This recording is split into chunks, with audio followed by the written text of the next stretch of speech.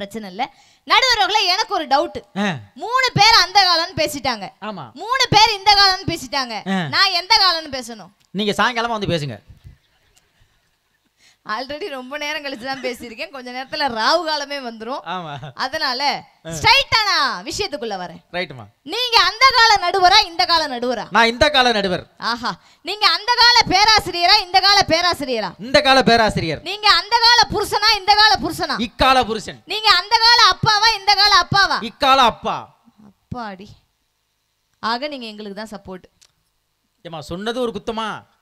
இல்ல கேட்டேன். அதெல்லாம் முடியாது. அவங்க மூணு பேர் பேசுனதை அலசி ஆராய்ஞ்சு அடிபிடிச்சு பார்த்து தான் தீர்ப்பு சொல்லுவேன். ஆ, அடி பிடிச்சு பார்த்து தீர்ப்பு சொல்லி அடேங்கப்பா.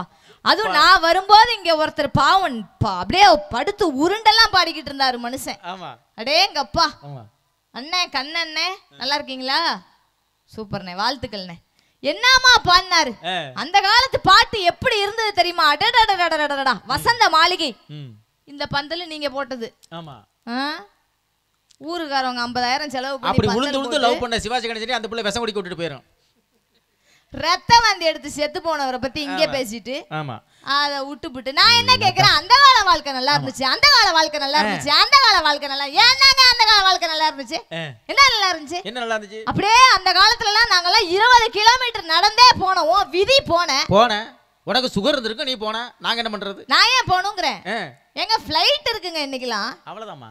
அந்த காலத்துலலாம் அப்படியே நாங்கெல்லாம் அப்படி வாழ்ந்தோம் தெரியுமா? எங்க பரம்பரை எப்பேற்பட்ட பரம்பரை நூறு பவுனை சேர்த்து வச்சு அப்பயும் பரதேசியா தான் தெரிஞ்சேன். ஆமா. அந்த காலத்துல நாங்க எப்படி வாழ்ந்து தெரியுமா? அந்த காலத்துல பவுன் எத்த எவ்வளவு தண்ணி வித்துச்சு? ஐம்பது ரூபா தான் வித்துச்சு. அப்ப வாங்கி ஒரு ஐம்பது பவுன் வச்சிருக்க வேண்டியதானே ஏன் ஒண்ணுமில்ல உட்காந்துருக்க இல்ல என்ன பேச்சு பேச வேண்டியதுன்னு இருக்கு ஒரே ஒரு கேள்வி இங்க பாருங்க. கண்ணன் சார். கண்ணன் சார். நல்ல பட்டிமன்றம் முடிச்சு போய்கிட்டு இருக்கும்போது ஆ, ஒரு பெரிய பாதாள கிணத்துல தவறி விழுந்துடுறீங்க இந்த மனுஷன் பாவம் ஐயோ நான் ஏம்மா உழுவுறேன். அப்படிங்கிறாரு ஒருவேளை தெரியாம விழுந்துட்டா கூட விழுந்துட்டா நல்லா யோசிச்சு பாருங்க அந்த காலத்துல விழுந்து கிடந்து அப்படியே போய் சேர வேண்டியதுதான் ஆமா இந்த காலத்துல நான் போன் எடுத்து ஆம்புலன்ஸ்க்கு கால் பண்ணிடுவேன் அருமமா உடனே வந்துருமே வந்து சேர்ந்துரும் எங்க எவ்வளவு டெக்னாலஜிங்க டெவலப்மெண்ட் ஆயிருக்கு. நல்லா யோசிச்சு பாருங்க அந்த காலத்துல எல்லாம் பொம்பளை பிள்ளைங்க வெளியே வந்தாங்களா. பாரதி தாங்க அழகா சொன்னா அடுப்பூதும் பெண்களுக்கு படிப்பதற்குன்னு வீட்டுக்குள்ளே வச்சிருந்தாங்க எதுக்குன்னு கேட்டாங்க பெண்ணே நீ விளையாட வீதி கிடைத்தாலும் வீட்டுக்குள்ளே உன்னை பூட்டிக் கொண்டு விறகுடித்து அறுப்படித்தாய். சாம்பலானது விறகு மட்டுமல்ல உன் வாழ்க்கையும் தான் நான் பாரதி. இன்னைக்கு பாருங்க வீட்ல இருந்து விண்வெளி வரைக்கும் பெண்கள் தாங்க.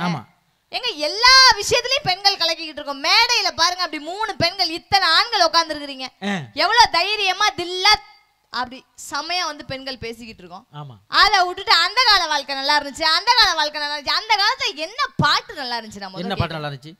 நதி எங்கே போகிறது? கடலை தேடி. நான் என்ன கேக்குறேன். நதி கடலை தேடி போகாம கண்ணன் சார் வீட்டு பாத்ரூம் தேடியா வரும்? அவ்வளவு பெரிய பாத்திரம் பையா இருக்கு? சட்டி சுட்டதடா. கை விட்டதடா புத்தி கெட்டதடா. நெஞ்சு சுட்டதடா. சட்டி தான் சுடுது இல்ல ஆமா. கறி தண்ணி புடிச்சு தூக்கலாம். கண்ணா கரையான ஒரு புடி துணின்னு ஒன்று நடக்கும் அடுப்பாங்கரையில. அதை பிடிச்சி இறக்கி வைக்க வேண்டியதானே அப்படி இல்ல இல்லைன்னா இப்பதான் குக்கர்னு ஒன்று வந்துருச்சு. புடிய பிடிச்சி இறக்க வைக்க வேண்டியதானே ஆறுனதுக்கு அப்புறம் இறக்க வேண்டியது இறக்க வேண்டியதானே என்னத்துக்கு இதுக்கெல்லாம் ஒரு அப்படித்தான் ஒருத்தர் தாலி கட்ட போயிருக்காங்க. இப்படி பொண்ணு கழுத்துல தாலி கட்ட போயிருக்கான். மைசெட்டுக்காரு பாட்டு போட்டிருக்காரு. என் கதை முடியும் நேரம் இது.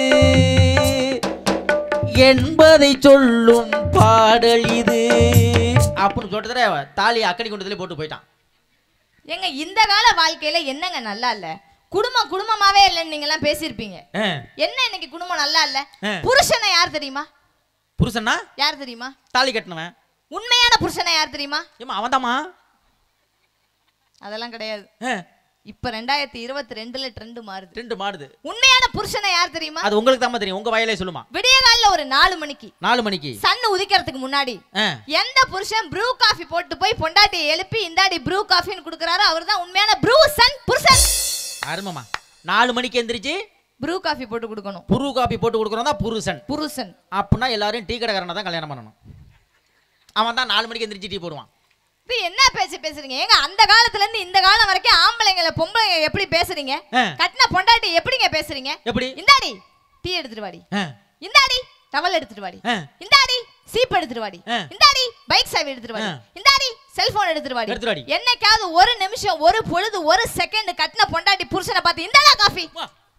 என்னம்மா அப்படி சொல்ற? இங்கிட்டு பார்க்கமா கையை நீட்டுமா? கொடுத்துருப்பாங்களாங்க. எங்க பயபக்திங்க.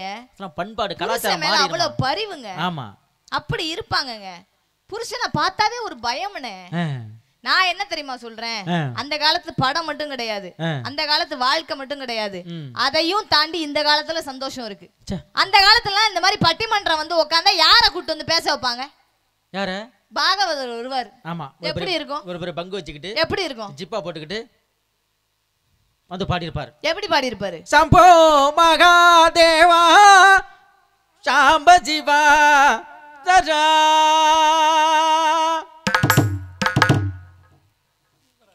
இருக்கண்ணே எவ்வளவு நேரத்துக்கு? சம்போ செவன் பாடுறது அதோட என்ன பட்டிமன்றமே அம்போன்னு போயிடும் என்னங்க வாழ்க்கையில எவ்வளவு சந்தோஷம் இருக்கு? அதை விட்டுட்டு சும்மா எதுங்க திருவிழா நடத்துறாங்க? எதுக்கு? திருவிழான்ற வார்த்தையை திருப்பி போட்டு பாருங்க? விழாதிருன்னு வரும். ஒவ்வொரு மனிதனும் வாழ்க்கையில் விழாதிருப்பதற்காக வருடம் தோறும் அந்த அம்மனுக்கு எடுக்கக்கூடிய பண்டிகை தானங்க திருவிழா. அருமமா அருமமா அந்த திருவிழால.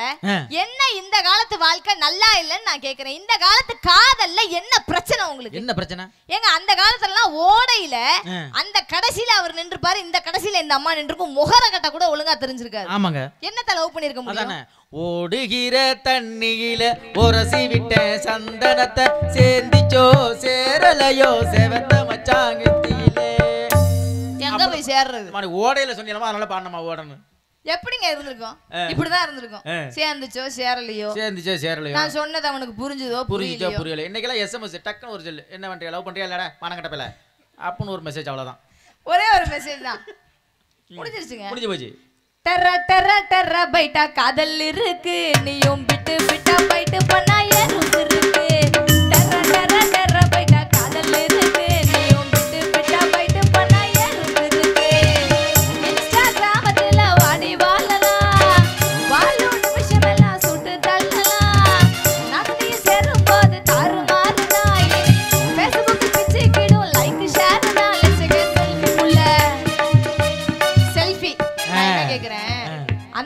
அந்த காலத்துலயும் போட்டோ எடுத்திருப்பீங்க. ஆமா. இவங்க மூணு பேர் போட்டோ எடுத்திருப்பாங்க. கண்ணன் சார் போட்டோ எடுத்திருக்கீங்களா. அந்த காலத்துல? எடுத்துருப்பாரு. ஒரு பெரிய கூடாரம் மாதிரி இருக்கும். ஆமா. அதுக்குள்ள நாலு பக்கமும் துணி தொங்கும். ஆமா. அந்த துணியை தூக்கிட்டு மண்டையை கொண்டு போய் உள்ள துணியை தூக்கிட்டு கோழி பிடிக்க போற மாதிரி உள்ளார உட்காந்துருப்பாங்க ஒரு போட்டோ எடுத்தோம்னா ஒருவேளை போட்டோ எடுக்கும்போது வாய் ஏன்னு கோணிக்கிட்டு இருந்தா கடைசி வரைக்கும் அந்த போட்டோ தான் வச்சிருக்கணும். ஆமா. எவ்வளவு சிரிக்கிறாங்க பாருங்க கண்டிப்பாமா. ஆனா இப்ப எந்த காலமா இருந்தாலும் இந்த ஆதார் அட்டைக்கு மட்டும் போட்டோ எடுக்கிற பாருங்க. அது மட்டும் செத்த போன மாதிரி எடுக்கிறாங்க எப்படிங்க அது?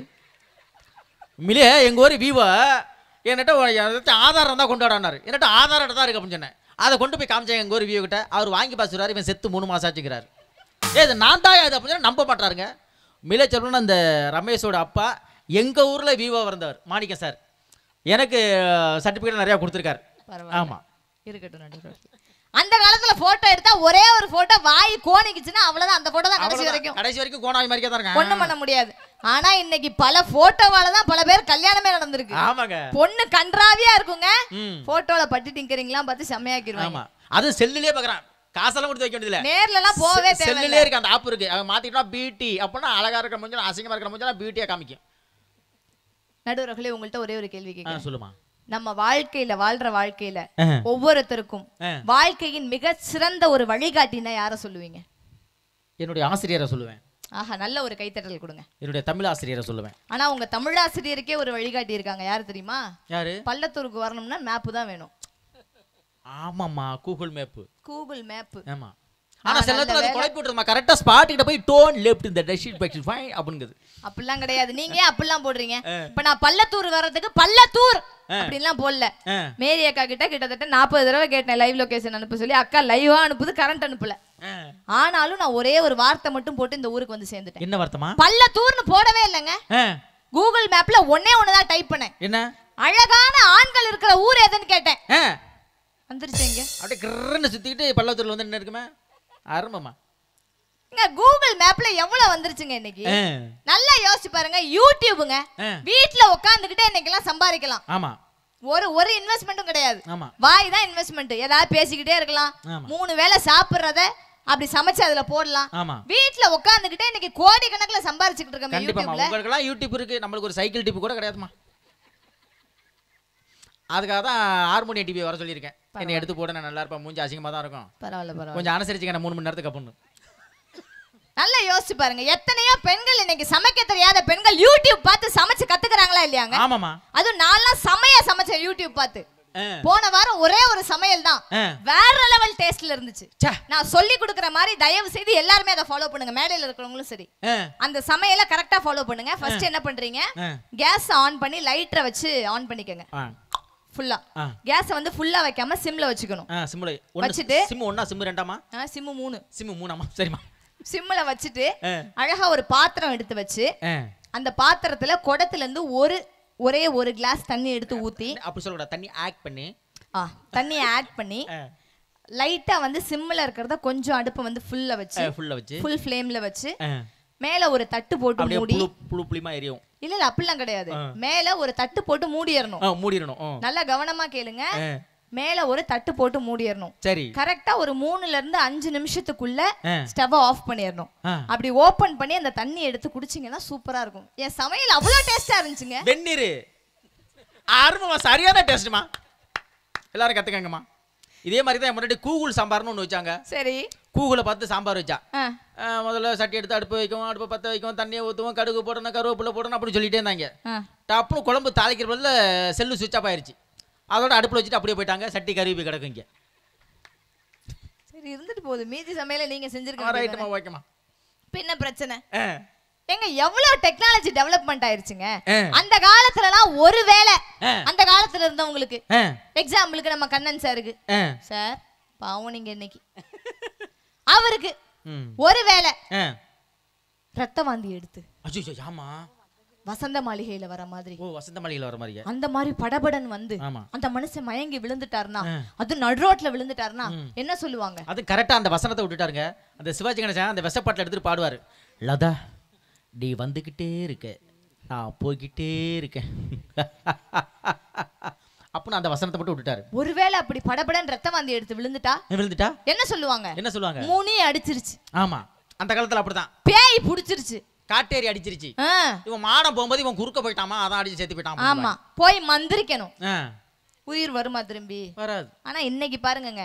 இந்தந்த வியாதி இருக்கு ரத்த வாந்தி வந்ததுன்னா பிளட் கேன்சருடைய அறிகுறியா இருக்கும். ஆமா. ஒருவேளை ஏதாவது உடம்புல ஏதாவது குறைபாடு இருந்ததுன்னா அது வந்து பிபியா இருக்கும் சுகரா இருக்கும். உங்க உடம்புல இவ்வளவு பிரச்சனைகள் இருக்குன்னு இன்னைக்கு ஒண்ணு ஒண்ணுக்கும் ஒவ்வொரு கருவிங்க. கண்டிப்பா கண்டிப்பா. யோசிச்சு பாருங்க எவ்வளவு டெவலப்மெண்ட் ஆகிட்டு இருக்கு என்ன இவங்களுக்கு எல்லாம் பிரச்சனை? ஒவ்வொரு வியாதிக்கும் ஒவ்வொரு கருவி இருக்கு இல்லையா நம்ம நாட்டுல? ஒவ்வொரு கருவிக்கும் ஒவ்வொரு வியாதி வந்துருச்சு. இல்ல நான் என்ன கேக்குறேன் ஒரே ஒரு விஷயம். சாப்பிடும்போது சாப்பாட்டுல முடியே விழுவாம வாழ்க்கையில ஒரு நாளாவது உங்களால சாப்பிட முடியுமா? முடியாதுமா. சாப்பிட முடியுமா? முடி உழுவுறதுக்கு முடிவே கிடையாது. ஒருவேளை முடி விழுவாம நான் சாப்பிடணும்னு நீங்க நினைச்சா வாழ்க்கையில சாப்பிட முடியுமா? முடியவே முடியாது. அப்புறம் என்னத்துக்கு கருவியில இருந்து வந்துச்சு வியாதி. வியாதியில இருந்து கருவி வந்துச்சு? குருவில இருந்து வந்துச்சு. நீ ஏன் தேவையில்லாம பேசிக்கிட்டு எதுக்கு உட்காருமா தேவையில்லாம இந்த உட்காருமா நான் தீர்ப்பு சொல்றேன் உனக்கு. இல்ல நான் என்ன கேக்குறேன்? அந்த கால வாழ்க்கை அந்த கால வாழ்க்கை நல்லா இருக்குன்னு ரெண்டு பேர் பேச வந்திருக்காங்கல்ல? உங்களுடைய ஆசிரியர் அவர்களையும் கேக்குறேன். கண்ணன் சார் அவர்களையும் கேக்குறேன். கேளுங்க. ரெண்டு பேரும் வேட்டி சட்டை வந்திருக்க வேண்டியதானங்க அதானே. எதுக்குங்க பேண்ட் சட்டை போட்டு வந்திருக்கீங்க? அதானே. அவருக்கு வேட்டி இடுப்புல நிக்காதான் பெல்ட் மாட்டணுமா? அந்த கால வாழ்க்கை அந்த கால வாழ்க்கை அந்த கால வாழ்க்கை. பட்டிமன்றம் முடிஞ்சு மூணு பேரும் அப்படியே இங்க இருந்து இறங்கி. ஒரு மாட்டு வண்டி இருந்தா கட்டி விடுங்க. ஊரு போய் சேரட்டும். அதுவும் அவர்லாம் ராசிபுரம் போறதுக்கு ஒரு ஒன்றரை வாரம் ஆகும். நாளைக்கு பட்டிமன்றம் இருக்கா? யோசிச்சு பாருங்க. உண்மையாவே அந்த காலத்துல இல்லங்க. எங்க ஏதாவது ஒண்ணு அடிபட்டு எங்கேயாவது நம்ம ஆக்சிடென்ட் ஆகி ஏதோ ஒண்ணு ஆகி ஒரு கையோ ஒரு காலோ ஏன் உடம்புல பாதி போய் உயிருக்கு போராடிக்கிட்டு இருந்தா கூட அதோட சாக வேண்டியதுதான். ஆனா இன்னைக்கு அப்படி கிடையாது. ஒரு குழந்தை பிறக்கும் போதே தாயினுடைய அந்த கருவறையில இருந்து ஸ்டெம் செல்லுன்ற ஒரு விஷயத்தை எடுக்கிறாங்கங்க. ஸ்டெம் செல்லுன்ற ஒரு விஷயத்தை எடுக்கும்போது இழந்து போன கையையும் காலையும் மீண்டும் கொண்டு வர முடியும்னு சொன்னா இந்த கால டெக்னாலஜியா இல்லையாங்க? போலியோவே இல்லாத உலகத்தை உருவாக்குவோம். போலியோவே கிடையாதுங்க. ஆமா. யோசிச்சு பாருங்க வாழ்க்கை எவ்வளவு சந்தோஷமா இருக்கு? என்ன வாழ்க்கை நல்லா இல்ல நல்லா இல்ல நல்லா இல்ல பிடிக்கல பிரச்சனை? நான்லாம் மேடையில தான் இவ்வளவு சத்தமா பேசுறேனே தவிர மேடையை விட்டு கீழே இறங்கினா பேசுற பேச்சு வெளியே தெரியாது. அவ்வளவு அமைதியான பிள்ளை உங்களுக்கு நல்லாவே தெரியும். ஆமாம்மா ஆமாம்மா. சத்தியமா நான்லாம் சொல்றேங்க இந்த காலத்துல வாழ்ந்தாலும் சரி நான்லாம் புருஷனை கூட்டிட்டு தனி கொடுத்தன போகவே மாட்டேன் கல்யாணத்துக்கு அப்புறம். நல்ல ஒரு தடவை கைத்தட்டல் கொடுங்க. சத்தியமா போக மாட்டேன் நடுவர்களே. ஏங்க போகணும்? அந்த காலத்து மாதிரி நம்மளும் கூட்டு குடும்பமா இருக்கலாம். அதானே? நான்லாம் கல்யாணம் பண்ணி போற வீட்ல புருஷனை கூட்டிட்டு தண்ணி கொடுத்துன போக மாட்டேன். போன அன்னைக்கே மாமியார் மாமனார் தண்ணி கொடுத்துன வச்சிருவேன். நல்ல பொண்ணுமானி நம்ம ஏன் அந்த வீட்டை விட்டு வெளியே போனோம் அதானே? நமக்கு என்ன இருக்கு? அதானே? நல்லா கேட்டுக்கங்கக்கா இந்த ஊர்ல இருக்கிற பெண்களுக்கெல்லாம் ஒரு விஷயம் சொல்லி கொடுத்துட்டு போறேன். அவங்க வைக்கிற மிகப்பெரிய குற்றச்சாட்டு என்ன? இன்னைக்கு பொம்பளை பிள்ளைங்கலாம் புருஷனுக்கு அடங்கி இல்ல. புருஷன் வந்து சண்டை போட்டு அம்மா வீட்டு கிளம்பி போயிடுறாங்க. அந்த காலத்துல பெண்கள் எல்லாம் அடியே வாங்கிட்டு கூட புருஷன் கூட தான் வாழ்ந்தாங்கன்னு தானே சொல்றாங்க. இந்த காலத்துலயும் தயவு செய்து புருஷன் அடிச்சாலும் சரி புருஷன் மிதிச்சாலும் சரி அசிங்கமா திட்டினாலும் சரி தயவு செய்து புருஷனை விட்டுட்டு எங்கேயுமே போக கூடாது. நல்ல ஒரு கைத்தட்டல் கொடுங்க. ஏமா ஏங்க எப்படிங்க கட்டின புருஷனை விட்டுட்டு வெளியே போலாமா? வீட்டு வாசலை தாண்டி ஒரு பொம்பளை பிள்ளை போலாமா? நான்லாம் ஒரே ஒரு விஷயம் இந்த இந்த ஊர்ல இருக்கிற பெண்களுக்கு சொல்லிட்டு போறேன். தயவு செஞ்சு கேளுங்க. ஒருவேளை கட்டின புருஷன் காலையில ஒரு சின்ன சண்டை ஆரம்பிச்சு. அந்த சண்டை பெரிய சண்டையா மாறி அடுத்த நாள் காலையில புருஷன் கோர்ட்டுக்கு டைவர்ஸ் கேட்டு போறாருன்னு தெரிஞ்சதுன்னு வச்சுக்கோங்களேன். அடி அடி நடிச்சிருப்பாரு பொண்டாட்டிய போட்டு. அவ்வளவு அசிங்கமா திட்டி இருப்பாரு. அந்த அக்காவுக்கு ஐயோ வாழ்க்கையே வேணாமேன்னு தோணும். அப்பா அம்மா வீட்டுக்கு போயிடலாமேன்னு தோணும். ஆனா தயவு செய்து எந்த பெண்ணுமே போக கூடாது அவங்க அதானே குற்றச்சாட்டா வைக்கிறாங்க? சத்தியமா போக கூடாதுங்க முத நாள் ராத்திரி புருஷன் சண்டை போட்டு அடுத்த நாள் காலைல கோர்ட்டுக்கு டைவர்ஸ் கேட்டு போக போறாருன்னு தெரிஞ்சா. முத நாள் ராத்திரியே ரசத்துல விஷத்தை வச்சு சோழியை முடிச்சிடணும். சூப்பர்மா நீதாம்மா தர்ம பத்தினி எதுக்காகன்னு கேக்குறேன். அதானே? அப்படியே அப்ப அந்த கால வாழ்க்கை நல்லா இருந்துச்சு. இந்த காலத்துல எதுவுமே சரியில்லை எதுவுமே நல்லா இல்ல. நான் என்ன கேக்குறேன்? அந்த காலத்துல அப்பா அம்மா இந்த காலத்துலயும் அப்பா அம்மா தானே? அந்த காலத்துல அத்தை மாமா இந்த காலத்துலயும் அத்தை மாமா தானே? அந்த காலத்துல சித்தப்பா சித்தி இந்த காலத்துலயும் அப்படிதானே அதேதான். எல்லாமே அப்படித்தானே இருக்கு? ஆமா. குடும்பம்லாம் குடும்பமா தானே இருக்கு? ஆமா. அப்படியே அந்த காலத்துல வாழ்ந்தது பூரா சுயநலவாதி. எப்படிமா சொல்ற? ஆமா தான் குடும்பம் தனக்கு மட்டும் சொத்து எடுத்துக்கிட்டா போதும். ஆமா. தான் வாய்க்கா தான் வரப்பு. ஒரு வேளை இத்தனோண்டு எவனாவது வாங்கிக்கிட்டான்னா அவ்வளோ பெரிய வெட்டுக்குத்து சண்டையெல்லாம் எப்போ நடந்துச்சு? பஞ்சாயத்தெல்லாம் எப்போ வந்துச்சு? அப்பதான் நடந்துச்சு. அந்த காலத்துல தான் வந்துச்சு. இந்த காலத்துல அப்படிலாம் கிடையாது. அப்பார்ட்மெண்ட்ல ஒரு வீடு வாங்குறதுக்கே நாக்கு தள்ளிடுது அவனுக்கு. ஆமா. வருஷம் வருஷம் இஎம்ஐ கட்ட முடியாம பாவம் எல்லாமே இஎம்ஐ ஆமா. கஷ்டப்பட்டுட்டு வாழ்க்கையை போராடி போராடி ஒவ்வொரு நாளும் வாழ்ந்துகிட்டு இருக்க நேரத்துல அந்த கால வாழ்க்கை நல்லா இருக்கு அந்த கால வாழ்க்கை நல்லா இருக்கு அந்த கால வாழ்க்கை நல்லா இருக்குன்னா அந்த காலத்தோடய போயிருக்க வேண்டியதானே அதானே? எதுக்கு இந்த காலத்துல வந்து உட்காந்து பேசிக்கிட்டு இருக்கணும்? அந்த காலத்துல மேடையில மைக்கு போட்டு இப்படி பேசியிருக்க முடியுமா? அப்படியே மைக் இருந்தாலும் இது மாதிரிக்கே இருக்கும். ஆ. இவ்வளோ பெருசுல இருக்கும். மூஞ்ச மறைச்சிக்கிட்டு இருக்கும். அந்த மைக்கில் பேச முடியுமா? எப்படி பேச முடியும்? நல்லா யோசிச்சு பாருங்கங்க. எங்க எவ்வளவோ மாற்றங்கள் உலகத்துல வந்திருக்குங்க. புது விஷயங்களை ஏத்துக்கங்க. கண்டிப்பா. ஏத்துக்க முடியலையா? குறை சொல்லாதீங்க. புதுசை வரவேற்போம். செல்போன்ல என்ன பிரச்சனை உங்களுக்கு நான் கேக்குறேன்? எங்க உள்ளங்கையில உலகங்க. செல்போன் வந்ததுக்கு அப்புறம் எவ்வளவோ மாறிடுச்சு வாழ்க்கையில. ஆமாமா செல்போன் வந்ததுக்கு அப்புறம் எவ்வளவு மிச்சமா இருக்கு தெரியுமா வாட்ச் கட்டுறது இல்ல ஆமா. ரேடியோவை தூக்கிக்கிட்டு தெரியறது இல்ல ஆமா. கால்குலேட்டர் கையில வச்சிருக்கிறது இல்ல ஆமா. நோட்ஸ் எடுக்கிறதுக்கு பேப்பர் எதுவுமே வேண்டாம். ஆமா. யாருக்குமே நம்ம நேர்ல போய் பத்திரிக்கை கொடுக்கணும்ன்ற அவசியம் இல்ல. ஆமா வாட்ஸ்அப்பில் அனுப்பி விட்டுறலாம் எல்லாமே நம்ம எவ்வளவு சூப்பரா அப்படி சிம்பிளா கொண்டு வந்தோம் எல்லாமே. செல்லுக்குள்ள வந்துருச்சு. செல்போன்ல பிரச்சனை பிரச்சனை பிரச்சனை. இந்த காலத்துல செல்போன் வச்சிருக்கிறதுனால உலகம் நாசமா போச்சுன்னு இவ்வளவு சொல்றீங்களே. நான் ஒரே ஒரு கேள்வி உங்க எல்லாருக்கும் பார்த்து கேக்குறேங்க. செல்போன் நம்ம தானே யூஸ் பண்றோம். ஆமா. நம்ம தானே ஆன் பண்றோம். ஆமா. நம்ம தானே ஸ்வைப் பண்றோம். ஆமா. நம்ம தானே கூகுள்ல போய் சர்ச் பண்றோம். ஆமா. நான் என்ன கேக்குறேன்? கூகுள்ல சர்ச் பண்ற உன்னுடைய விரல் நல்ல விரலா இருந்தா அது ஏன் கெட்ட விஷயத்த காட்ட போகுது? அருமமா நல்ல விஷயத்த தேடு நல்ல விஷயத்த படி நல்ல விஷயத்த கத்துக்கோ. அதை தான் பார்க்க மாட்டானே அவனு. எதோ இருந்தாலும் கெட்ட வச்சு தான் பார்க்குறாங்க இருக்கு அப்படியே செல் பண்ண அந்த காலத்தில் அமுக்கிற போன் இருந்துச்சு. பட்டன் அமுக்கிற போன் இப்போ தடவுற போனுங்க அப்படியே தடவிட்டே இருக்கிறான். என்னன்னு கேட்டால் அந்த செல்ஃபோனில் தடவி தடவி என் குடும்பமே தடவிட்டு போச்சுங்கிறாங்க. என் குடும்பமே தடவிட்டு போச்சு. இப்போ கிளவி இந்த வெத்தலையில் சுண்ணாம்பு தர மாதிரி அது மாதிரி இப்போ செல்லில் தடவிட்டு இருக்கிறான். நல்லா யோசிச்சு பாருங்க நிறைவை இப்படி சொல்லி முடிக்கிறேன். ஆர்வமா? நிறைவா வந்துருவா ஆ ஓகேம்மா. உண்மையாகவே அந்த கால வாழ்க்கையை விட இந்த கால வாழ்க்கை தான் சிறந்ததுன்றதுக்கு ஒரே ஒரு உதாரணம் மட்டும் சொல்றேன். பிப்ரவரி பதினாலுன்னா என்ன ஞாபகம் வரும் நமக்கெல்லாம்? காதலர் தினம். ஆஹா என்ன ஒரு முக மலர்ச்சி. காதலர் தினம். ஆனா ஒரு மூணு வருஷத்துக்கு முன்னாடி கிட்டத்தட்ட ஒரு நாற்பது ராணுவ வீரர்களை இந்திய ராணுவ வீரர்களை பறி கொடுத்த புல்வாமா தாக்குதல் நடந்தது. ஆமாம் ஆமாம் புல்வாமா தாக்குதல் பிப்ரவரி பதினாலு அன்னைக்கு தான் நடந்துச்சுங்க. கிட்டத்தட்ட நாற்பது இந்திய ராணுவ வீரர்களும் பனிரெண்டு தமிழக ராணுவ வீரர்களையும் நம்ம இழந்தோம். ஆமாம் புல்வாமா தாக்குதல்ல இதே மாதிரி கிராமத்துல பிறந்து வளர்ந்த சேகர்ன்ற ஒருத்தர் இறந்து போயிட்டாருங்க. அவருடைய பிணம் கிராமத்தை நோக்கி வருது. கிராமத்து மக்கள் எல்லாரும் அழுகுறாங்க. எல்லாருமே அழுகுறாங்க எங்களுக்காக போய் நீ உசுர கொடுத்துருக்கியே உனக்காக கைமாறு நாங்க என்ன செய்ய போறோம்னு தெரியல நினைச்சு அழுதுகிட்டு இருக்காங்க. அவரை பெத்த அப்பாவும் அம்மாவும் மண்ணுலயும் புழுதியிலையும் புரண்டு அழுகுறாங்க அவருடைய கட்டின மனைவி மட்டும் ஒரு சொட்டு கண்ணீர் கூட வடிக்கல. பொண்டாட்டி அழவே இல்லை.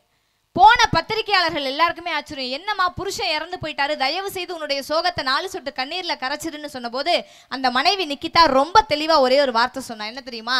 என் கணவர் மூணு நாளைக்கு முன்னாடியே இறந்து போயிட்டாருன்னு எனக்கு தெரியும்.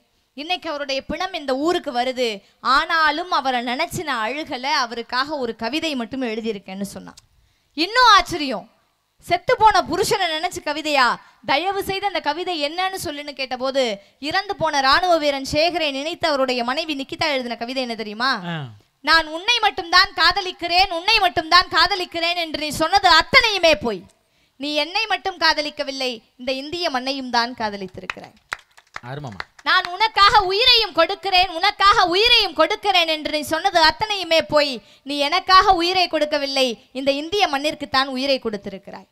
இன்று உன்னால் நான் விதவையாக நின்று கொண்டிருக்கிறேன். இன்று உன்னால் நான் விதவையாக நின்று கொண்டிருக்கிறேன். நான் விதவையானாலும் சரி எத்தனையோ இந்திய பெண்கள் சுமங்கலிகளாக வாழ்கிறார்களே அதற்காக நான் விதவையானாலும் சரி. ஒருவேளை ஒருவேளை அடுத்த பிறவி என்ற ஒன்று மட்டும் எனக்கு இருந்தால் அந்த பிறவியிலும் நீ ஒரு ராணுவ வீரனாகத்தான் பிறக்க வேண்டும். அதிலும் நான் உனக்கு மனைவியாகத்தான் இருக்க வேண்டும். ஏன் தெரியுமா? அதில் கூட நீ என்னை விட்டு பிரிந்து இறந்து செல்வாய் என்றால் அதிலும் நான் விதவையாகவே வாழ ஆசைப்படுகிறேன். இந்த இந்திய மண்ணும் மக்களும் என்றும் நிம்மதியாக உறங்குவார்கள் என்றால் ஏழேழு பிறவிகளுக்கும் நான் விதவையாகவே வாழ ஆசைப்படுகிறேன்னு ஒரு பெண்ணு சொல்றானா ஏங்க ராணுவ வீரனுடைய வாழ்க்கைலாம் அவ்வளோ சாதாரணம் கிடையாதுங்க. மனசாட்சியை தொட்டு நான் கேட்கறது உண்மைன்னா கைத்தட்டுங்க இல்லைன்னா வேணாம். ஒரு ஐம்பது வருஷத்துக்கு முன்னாடி ராணுவ வீரனா உங்களை ராணுவத்துக்கு செலக்ட் பண்ணுறோன்னு ஒவ்வொரு வீட்டுக்கும் வந்தாங்க. அன்னைக்கெல்லாம் இன்னைக்கு மாதிரி கஷ்டம்லாம் கிடையாது. ஒரு வருஷம் போய் கஷ்டப்படணும் ராப்பகலாக உழைக்கணும் மேடு பள்ளம்லாம் இறங்கணும் சோறு தின்னாமல் இருக்கணும் டயட்டில் இருக்கணுன்றதெல்லாம் கிடையாது. அன்னைக்கு ஆறு அடி உயரம் இருந்தால் போதும் நாலு அடி அகலம் இருந்தால் போதும் ராணுவ வீரனுக்கு செலக்ட் ஐம்பது வருஷத்துக்கு முன்னாடி ஒவ்வொரு வீட்லயும் வந்து செலக்ட் பண்ணும்போது ஓடி ஒளிஞ்சாங்கங்க. ஆமா. வீட்டுக்குள்ள இருந்து அனுப்ப மாட்டாங்க பெத்தவங்க. ஐயையோ நான் பெத்து வச்சிருக்கிறது ஒரே ஒரு ஆம்பளை பிள்ளை. அதெல்லாம் ராணுவத்துக்கு அனுப்பிட்டு நான் எப்படி உயிரோட இருக்கிறது? அப்படின்னு சத்தியமா அனுப்ப மாட்டாங்க. இன்னைக்கு காலகட்டத்தை நல்லா யோசிச்சு பாருங்க. பத்தாவது முடிச்ச உடனே நான் ஒரு ராணுவ வீரனாகத்தான் ஆவேன்னு அதுவும் ஒரே ஒரு விஷயம் பாருங்க. அன்னைக்கெல்லாம் அந்த அளவுக்கு கருவிகள் கிடையாது. இன்னைக்கு ஒரே குண்டுல செத்து போயிடுவோம் ஆமா. இன்னைக்கும் ஒரு பையன் தெல்லா தெம்பா தைரியமா நான் செத்தாலும் பரவாயில்ல என்னுடைய உ- என்னுடைய உடல் இந்த உலகத்திற்கு உரமானாலும் பரவாயில்ல என்னுடைய தேசத்திற்காக நான் உயிரையே தருவேன்னு அன்னைக்கு சொன்னவங்க யாரும் கிடையாது. இன்னைக்கு பத்தாவது படிக்கும் போதே எத்தனையோ பசங்க ராணுவ வீரனாக போறாங்களே. இன்னைக்கு